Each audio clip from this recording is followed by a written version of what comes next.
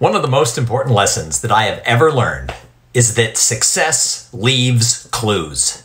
If you're looking to grow your career or expand your business, one of the smartest things you can do is get around people who are really out there making things happen. I have found through hosting my podcast, Cool Things Entrepreneurs Do, where I have now interviewed over 450 entrepreneurs, solopreneurs, and business leaders, that when I'm able to ask them questions, and listen to their responses, they can't help it. They have to leave an idea, a theory, a nugget, a concept behind that I can pick up on. Now, not everyone who's successful who you talk to is going to give you that, that piece of information that you need to be able to knock it out of the park. But every now and then, if you're constantly observing and listening, success will leave a clue and you'll stumble upon it and you'll be like, oh my God, that's exactly what I needed. So, my challenge to you is what are you doing to get around successful people?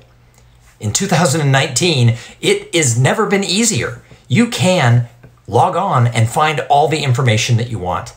If you want to get around successful people, pick a few podcasts that really talk to what you do.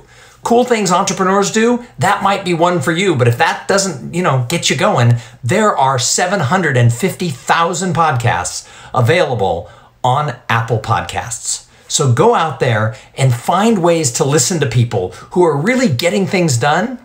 And then you're going to find that you're going to actually get more done yourself.